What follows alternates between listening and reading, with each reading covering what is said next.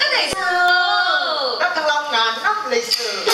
Đã có đời gìn giữ cố lâu này. Ừ. Mừng vui mở hội hôm nay. Ừ. Chống sông tơ mờ cũng bay khắp trời. Cái này bà con ơi. Sao này sao? Thế tôi ra đây có phải xưng danh không nhỉ? Thế còn đi xưng danh danh nhá.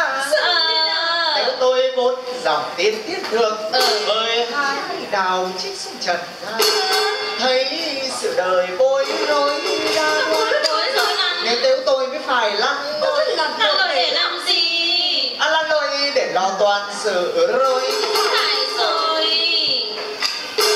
Ơ này bà quan ơi